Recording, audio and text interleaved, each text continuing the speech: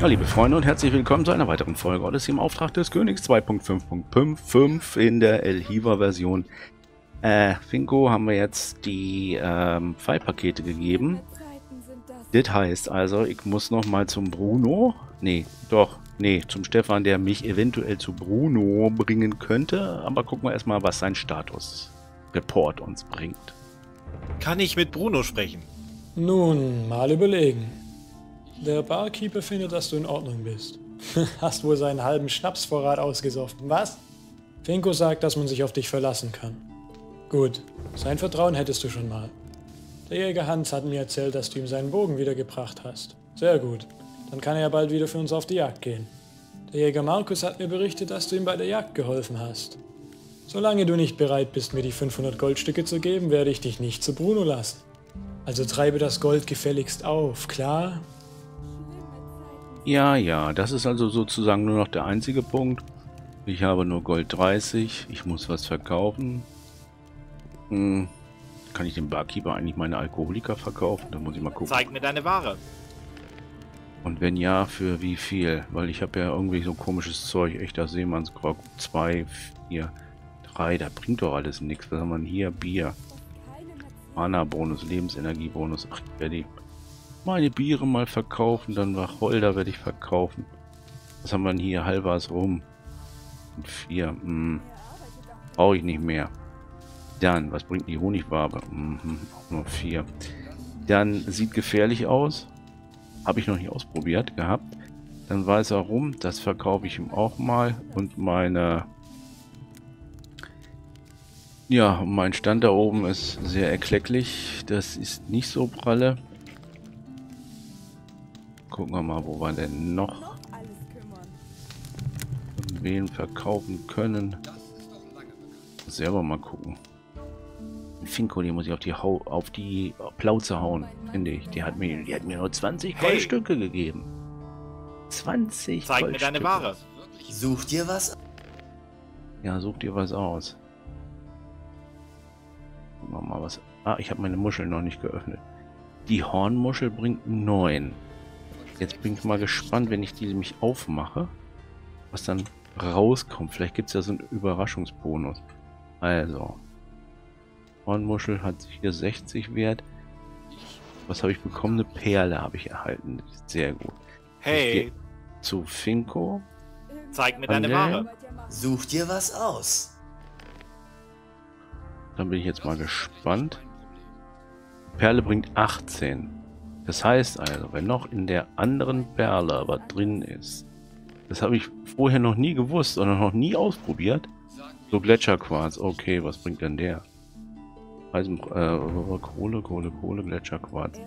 Ach, da oben ist er. Nee, ist ein Aquamarin, aber trotzdem hey. verkaufe ich jetzt, verkaufe ich jetzt. Das ist jetzt so weit von Zeig. egal. Sucht. Das ist jetzt sowas von egal. Also Leute. Ach, die Klappmuscheln vergessen. Hm. Ja, ja. So, was haben wir denn hier? Eisenbrocken brauche ich noch. So, wo sind denn hier die komischen Quarze? Was ist denn hier? 21. Kohle, aha. Ähm, da haben wir den Gletscherquarz, richtig. Sodele. Ah, ist ein bisschen kompliziert heute, liebe Leute.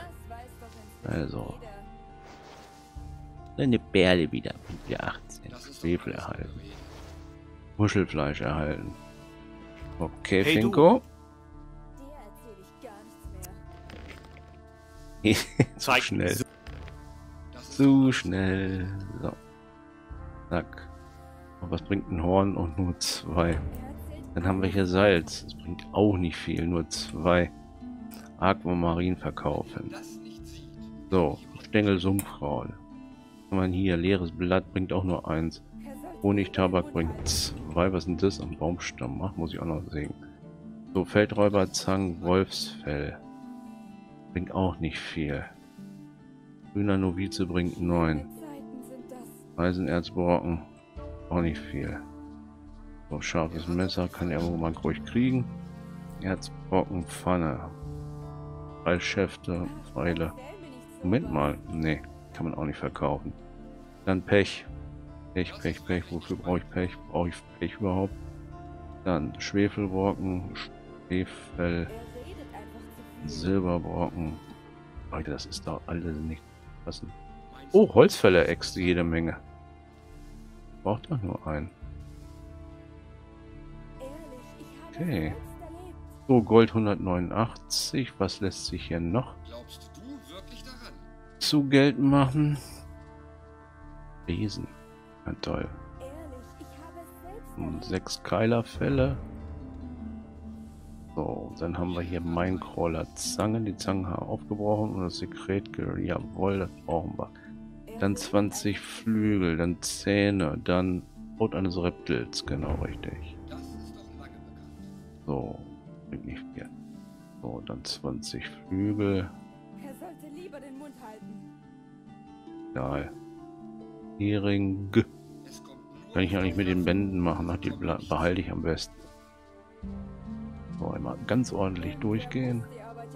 Hat da noch. Mal, ich habe mal Ringe. Ringe, Ringe der Unbezwingbarkeit. Könnte ich eigentlich Großes aufkaufen. Amulett der Priester, das nicht. Amulett der Erzhaut. Bringt 150. Und was haben wir? Amulett der Kraft. Ring der Gewandtheit. Ah, Leute. Sorry. Amulett der Erzhaut. Mach ich. So, noch 5 Gold, äh, 45 Gold. Amulett der Kraftdinger. Stärkebonus, ja, lasse ich mal. Ring der Gewandtheit. Geschicklichkeitsbonus nur 3 gibt 45. Ja, da sind wir doch auf unsere 500. So, die Verhandlungen haben ein bisschen länger gedauert, liebe Zuschauer. Dafür wird es jetzt umso spannender. Wir wollen nämlich in die Burg und dazu müssen wir nämlich Stefan fragen. Hallo Stefan, darf ich zu Bruno? Hallo Saufer. Wegen den 500 Goldstücken. Ja? Wie hast du dich entschieden? Ja, wie habe ich mich wohl entschieden? 500. Na schön, hier hast du 500 Goldstücke. Gut. Wenn du dir genug Vertrauen bei den Bewohnern verschafft hast, kannst du den Schlüssel zur Burg haben. Habe ich denn alles äh, geschafft? Achso. Ich kann nicht mit Bruno sprechen. Oh. Nun, mal überlegen. Der Barkeeper findet, dass du in Ordnung bist. Hast wohl seinen halben Schnapsvorrat ausgesoffen, was? Finko sagt, dass man sich auf dich verlassen kann. Okay, Gut. das kennen Hier, wir ja alles. Hier, du hast, danke. Du hast unsere. Ich bin da. Hier hast Superklasse. Schlüssel zu Tamora erhalten. Ich mal gucken, wo der Schlüssel steckt. Hm, Hafentorschlüssel von Athanos. Erstmal abspeichern. Dann haben wir das mal abgespeichert an der Stelle und dann gucken wir mal, wo dieser Burgschlüssel ist. Hafenschlüssel Athanos. Da oben könnte er sein hier. Schlüssel zum Burgsaal Tamoren. Richtig. Dann gehen wir auch gleich dahin. Oder? Wollen wir? Oder wollen wir nicht? Äh, ja.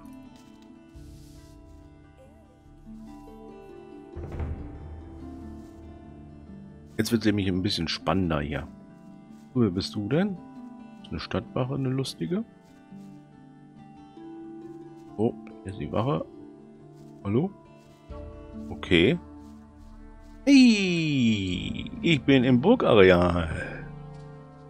Sehr schön. Ach, gucken wir mal, was es so alles gibt. Kerker. Ohne den richtigen Schlüssel kriege ich das Okay, nie da auf. brauche ich einen Kerkerschlüssel für.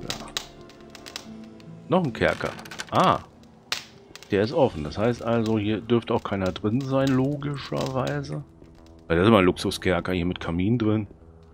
Super klasse. Aber hier fehlt der Proviant. Ist ja noch kein Gefangener drin. So, das heißt also, der Kerker hat eins, zwei, nee, hat nur, nur so ein Stockwerkchen hier. Nur was versteckt. Nein, jetzt nicht.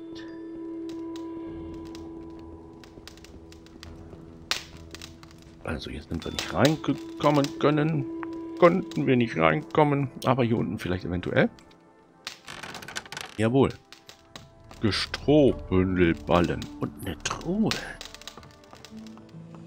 Wer hatte das gedacht? Oh, hier ist, äh, ist ein Flavorwaffen. Was ist denn das? Meisterdegen. Was bringt der uns dann? So, äh, Meisterdegen.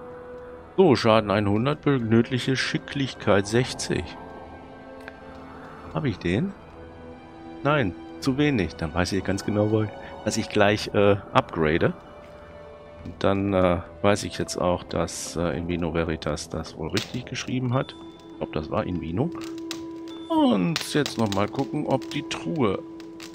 Ja, die muss ich knacken. Das heißt, sicherheitshalber mal abspeichern. Ich habe noch neun Dietriche, so wie ich das im Kopf habe. Ich fange mal an. Achtung. Ja, abgebrochen. Das sind jetzt nur acht Dietriche.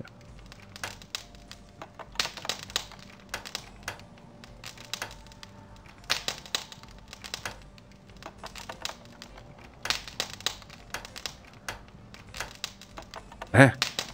Hm? Hm. Hm. Hm. Hm. Oh, nee. Hm. Hm. Hm. Hm. Hm. Hm. Haben wir oh, 55 Gold. Ja, auch schön.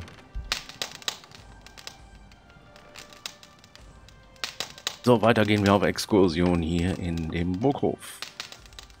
Ah, oh, das ist mal schöne, schönes Glas da hinten. Schönes Glas. Immer schön in die Ecken und Nischen schauen. Da brennt ein Feuerchen. Riecht hier was im Gras? Nein. Schöner Burgturm. Da kommt man sogar rein. Da gibt es sogar Gletscherquarz, ein Patch. Nochmal Gletscherquarz. Oh, alles wertvolles Zeug. Nochmal Pech. Flavorrüstung. Pult. Oh. Schinken. Ah, hier gibt es ja ein bisschen was zu essen und zu söfen. Apfel, Wacholder. Eine Buchkommode. Ne, ein Schreibpult. Gut, kann ich mal noch was schreiben? Nö, kann ich nicht schreiben. Feder zum Schreiben ist hier. Aber ich habe meine meine Federn doch gar nicht geschrieben. Nee. Sehe ich denn da eigentlich? Hier haben wir noch eine Truhe. Noch eine Truhe. Gehst du auf? Ja, sie geht auf. Gleich mit 35 Volt. Was haben wir hier? Ein leeres Blatt. Verwandlung Blutpflege. Ring der Geschwindigkeit römisch 2 und Verwandlung Fleischwanze. So, aufgrund der Tatsache, dass ich, wenn ich dann irgendwelche Skripte oder Bücher oder Zettel finde, dass ich meistens vergesse, die zu lesen. Das werden wir jetzt gleich sofort erledigen. Brief an die Eltern, Brief an die Schule, Erpresserbrief. So, versteckter Brief Eisenbad, Ring der Geschwindigkeit 2. Stadthalter Bruno unterstützt mein Experiment. Doch leider musste ich feststellen, dass man Bruno nicht trauen kann. Er will mich betrügen und den Ring für sich behalten, das erfuhr ich von Telem. Dieser gab mir den Rat, zu der Insel Adarmos zu segeln. Dort werde ich den Ring herstellen. So werde ich ihn dann nach Tamora heimlich verlassen. Beringer. Aha. So vergrabener Schatz, das war ja das mit dem Einsiedler, Erzwaffe, Ben Hawk, Hawk, genau, der Chroniken von Tamora, der Dieb, das könnte es sein. Nee, nee. Hm, der Mann im Kerker, das muss ich auch noch, äh, Wacholderbeeren, ach, die habe ich immer noch nicht. Sollte ich natürlich auch noch holen. Der Stammler, wo war denn das mit dem... Hier, Ring der Geschwindigkeit. Ich habe vom Beringer einen Zettel gefunden. Okay, das haben wir damit erledigt. Jetzt geht es hier noch eine Rampe hoch. Was ist denn hier? Okay, nächstes.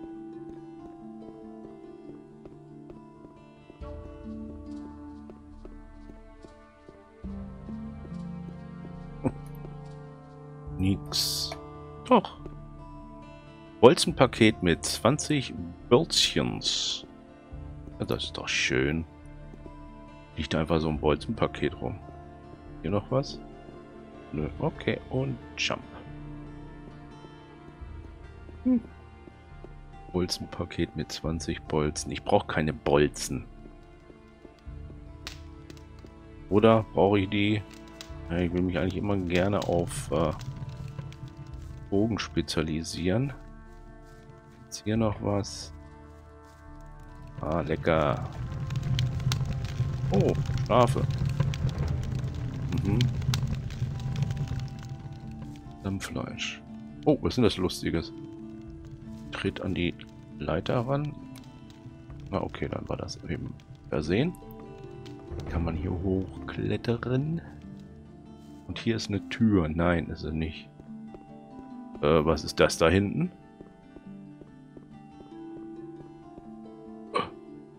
Okay. Verwandlung Fleischwanze. Fällt mir hier. Ah, ne, komme ich nicht durch. Gibt's hier irgendwo einen Hebel? Null Hebel. Hier ist alles abgeschlossen. Ah, schön. Oh, guck mal hier. Jetzt gemütlich. Der hat's gemütlich. Oh, und... Ups. Wir das auch schon mal. War noch was.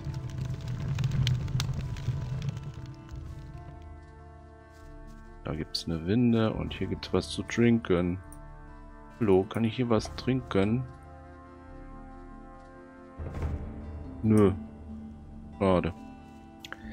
Dann, ähm, machen wir hier. Wasserfass zum Erfrischen, ne? Ein Schluck Wasser trinken. Null Lebenspunkte regeneriert. Gut. Ja. Oh, schön. Leuchtet richtig. Kommen wir hier so langsam rein und hier gibt es auch eine.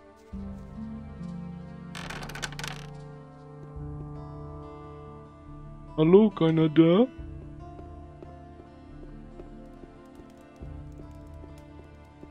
Hm. Wenn er hier keiner da, sind wahrscheinlich alle in Kanada. Ah, Bettchen. Bettchen wollen wir gleich hier betreten, die Betten. Nee, hier gibt es auch nicht viel. Zu.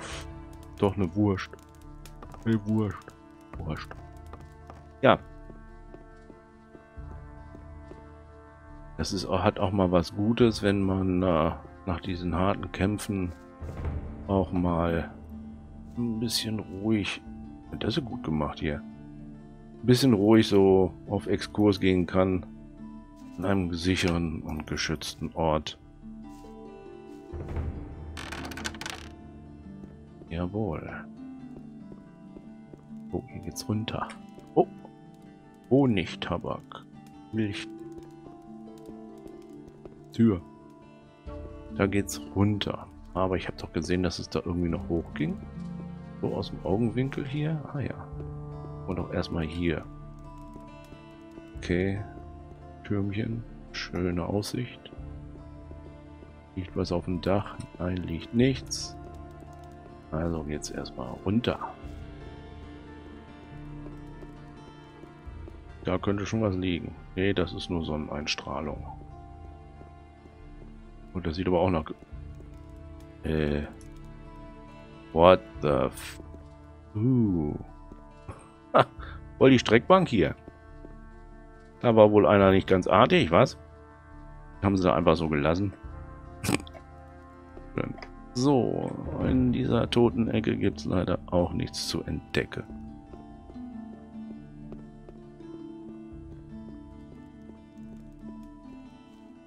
Und weiter geht's. Hier gibt es einen Brunninger. Also einen Brunnen. Immer kräftig weiter pumpen. Oh. Ach, ich kann schon pumpen. Weil auf Atanos gab es ja auch so eine Pumpe. Ach so, lustig. Eine Wasserflasche gefüllt. Immer kräftig weiter pumpen. Okay. Das heißt also, ich kann meine leeren Wasserflaschen an dieser Pumpe auffüllen.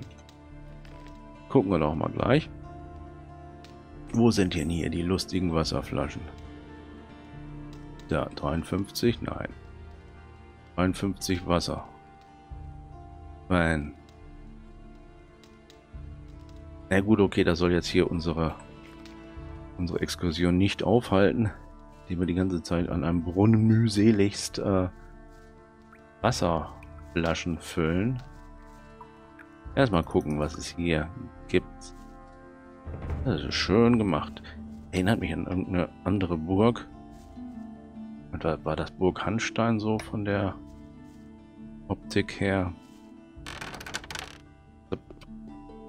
Ja, sieht nach leerem Frachtraum aus. Aber immer mal gucken. Alter. Jawohl. Okay, dann kommen wir da hinten rüber. Das gucken wir uns gleich an. Nachdem wir hier alles geguckt haben in den Kanten und quetschen uns mal hier durch. So, und dann habe ich nämlich irgendwo... Ah, mhm.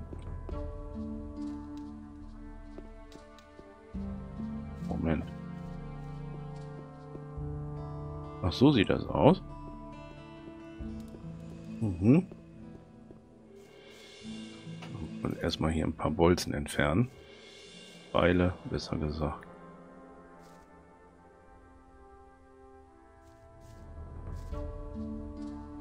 Schön.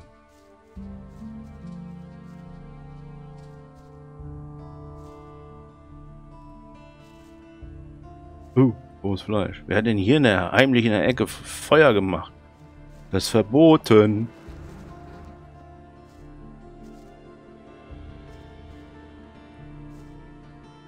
Okay. Also das Ganze nochmal hier angucken.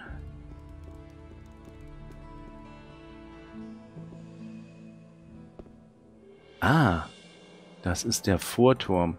Okay.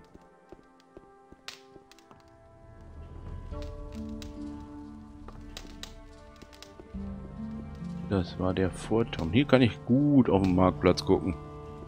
Schön.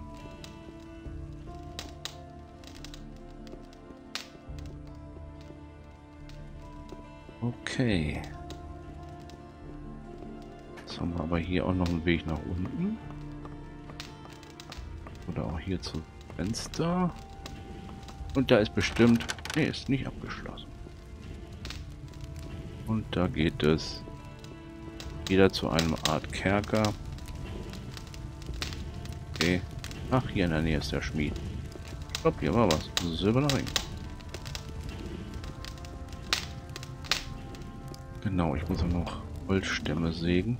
Fällt mir noch ein. Aber jetzt gehe ich zur Burg. Jetzt gehe ich zum Burgeingang, beziehungsweise ich versuche zu finden, wo der Burgeingang ist oder wo ich zu diesem Stadthalter komme.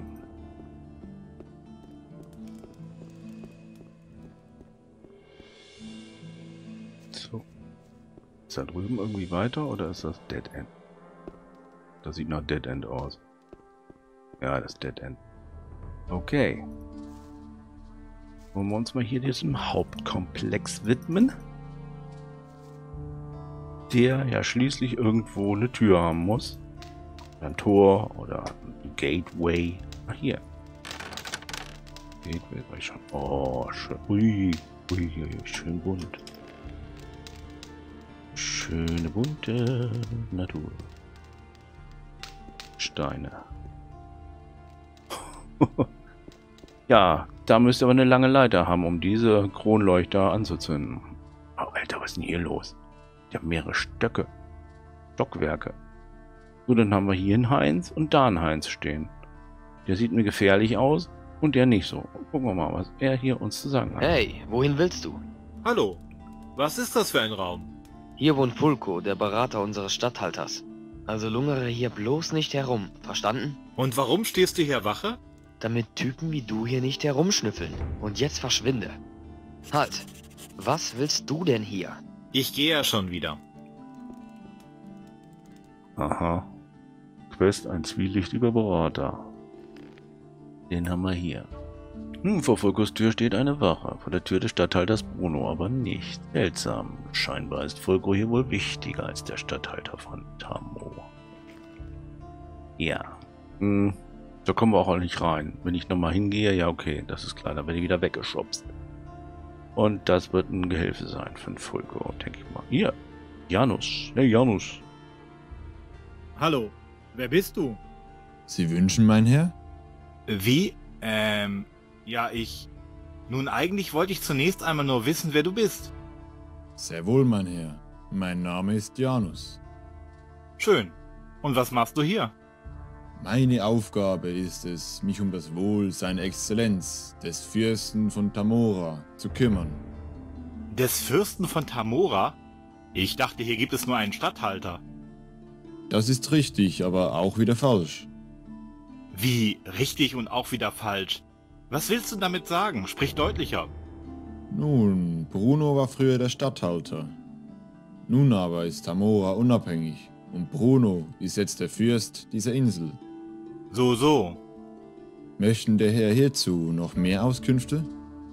Nein, erstmal nicht. Danke. Bitte sehr, der Herr. Stets zu Diensten. Der hat wohl einen Hinkelstein auf den Kopf gekriegt. Die wünschen, mein Herr.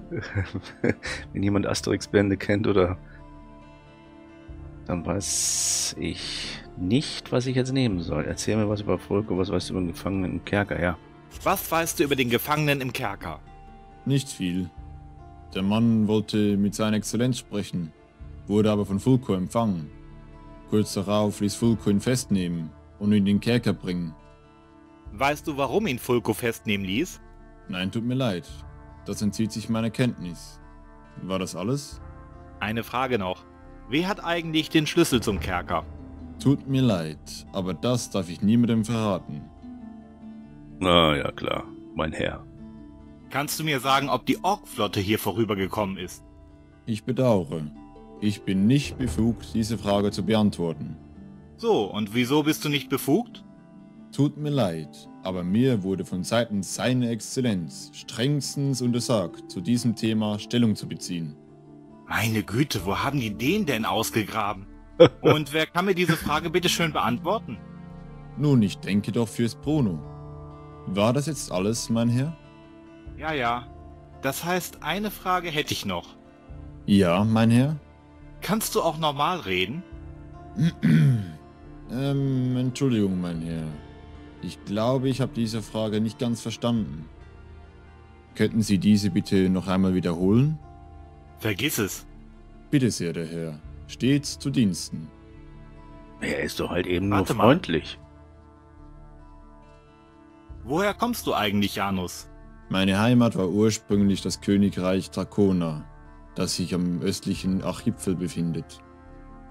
Mein Vater war einmal ein angesehener Schneider und Tuchhändler in der Königsstadt gewesen.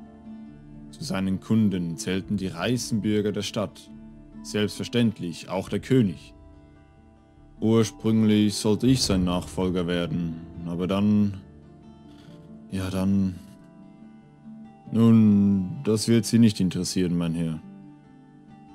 Doch, es interessiert mich. Ja, es interessiert uns eigentlich alle. Will ja wissen, was er quatscht. Doch, das interessiert mich. Erzähle. Aha. Bedauere, mein Herr. Hierüber werde ich Ihnen nichts mitteilen. Ah. Hm, auf einmal? Überleg es dir.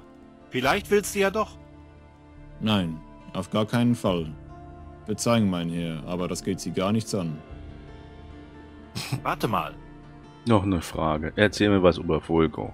Erzähl mir was über Fulko. Über den Berater, seine Exzellenz? Was wollt ihr denn, mein Herr, wissen? Zunächst mal würde ich gerne erfahren, wie er das Vertrauen des Statthalters gewonnen hat. Den Statthalter? Ihr meint wohl den Fürsten von Tamora? Für mich als Boten des Königs ist Bruno nach wie vor der Statthalter. Egal, ob er sich vom König losgesagt hat oder nicht. Entschuldigung, mein Herr, aber da bin ich anderer Ansicht. Mag sein, doch das interessiert mich nicht. Also weiter. Warum wurde Fulko so schnell Brunos wichtigster Berater? Das entzieht sich meiner Kenntnis. Ich weiß nur, dass seine Exzellenz ihn schon nach kurzer Zeit zu seinem Berater ernannt hat. Mehr nicht. Na schön. Weißt du vielleicht, woher Fulko gekommen ist? Nein, das heißt Ja? Was wolltest du sagen?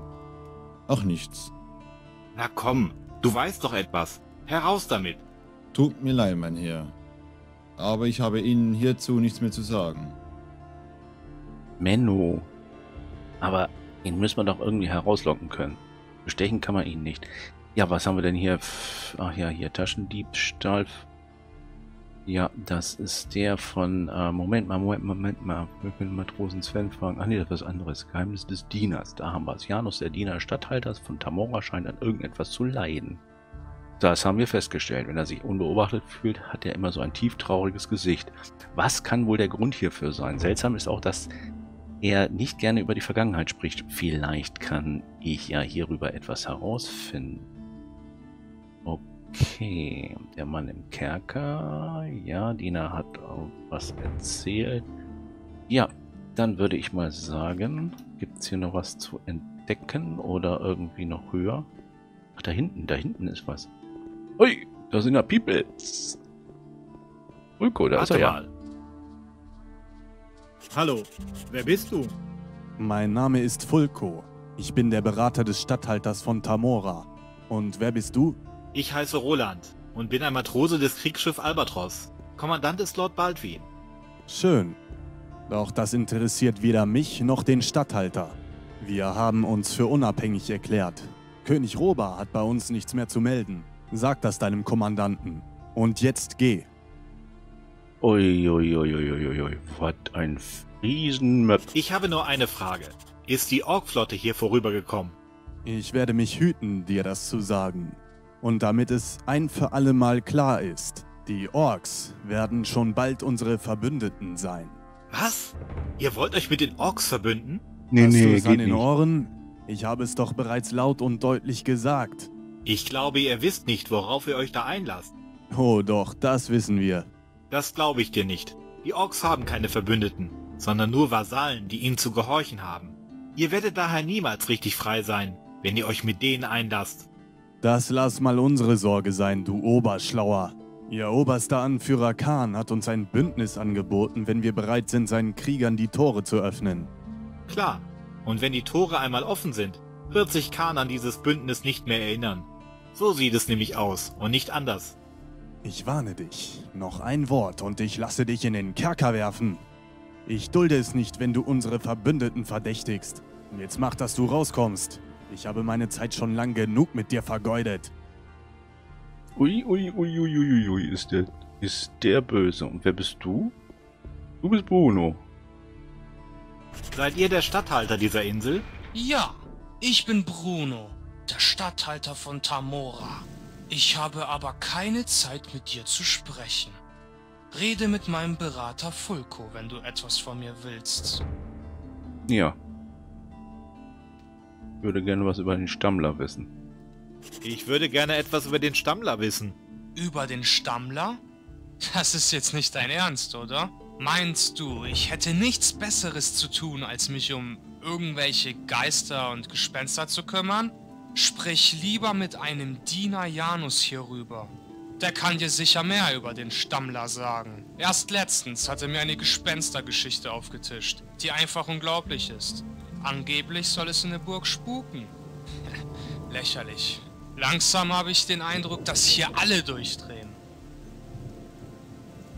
Ja, dann werde ich mal an dieser Stelle mal schön die Folge beenden, damit sie auch spannend bleibt. Und ich denke mal, dass ich in der nächsten Folge auch mal aufs Schiff zurückgehe. Ich muss nämlich noch Holzstämme sägen und hacken. Also, danke fürs Zuschauen. Daumen, Kommentar, alles klar und tschüss.